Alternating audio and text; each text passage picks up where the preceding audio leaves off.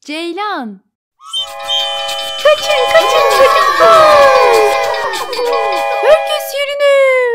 Çö çö çö çö çö çö çö çö çö çö çö çö. C. E. E.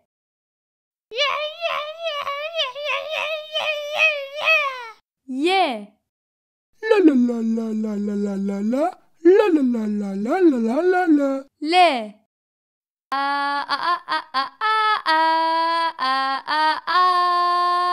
o, Ne ne ne ne ne ne ne ne ne ne ne ne ne ne ne ne ne. Ceylan.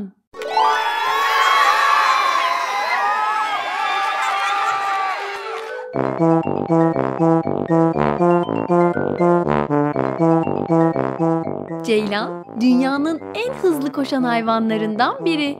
Geyiklerinki kadar büyük olmasa da ceylanların boynuzları vardır. Ceylan büyüdükçe boynuzları da büyür.